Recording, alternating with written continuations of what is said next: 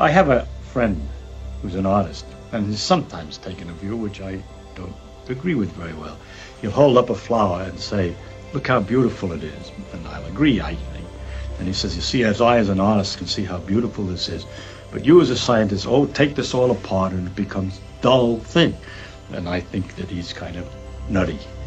First of all, the beauty that he sees is available to other people and to me too. I believe, although I may not be quite as refined as aesthetically as he is, that I can appreciate the beauty of a flower.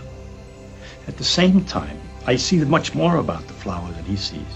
I could imagine the cells in there, the complicated actions inside, which also have a beauty. I mean, it's not just beauty at this dimension of one centimeter. There's also beauty at a smaller dimensions. The inner structure, also the processes, the fact that the colors and the flower evolved in order to attract insects to pollinate it is interesting. It means that insects can see the color. It adds a question.